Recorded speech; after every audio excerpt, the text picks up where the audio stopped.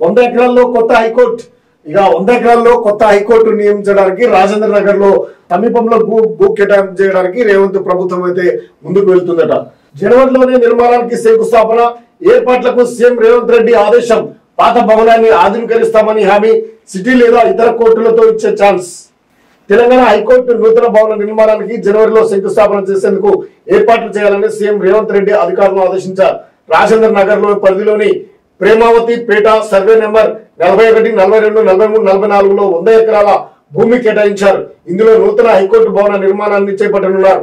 High court ఆ chief justice Alok Aradhe ప్రభుత్వ ముఖ్య కార్యదర్శితో హైదరాబాద్లో ఎంసీఆర్హెచ్ ఆర్డి గురువారం సమీక్ష సమావేశాన్ని నిర్వహించి ప్రస్తుత హైకోర్టు భవనం శిథిలావస్థకు చేరుకున్నటువంటి నేపథ్యంలో నూతన భవనాన్ని నిర్మించాల్సినటువంటి ఆవశ్యకతను ఆ చీఫ్ జస్టిస్ న్యాయవాదులు సీఎం దృష్టికి తీసుకొచ్చారు.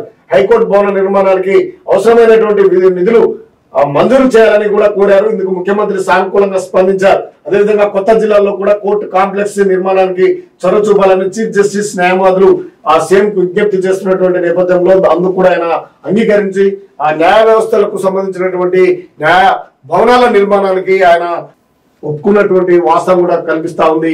న్యాయ వ్యవస్థను ఎంతో మెరుగుపరచాల్సినటువంటి అవసరం ఉంది. న్యాయ వ్యవస్థ అందరికీ అవగాహనను కల్పించాల్సినటువంటి అవసరం ఎంతో ఉంది.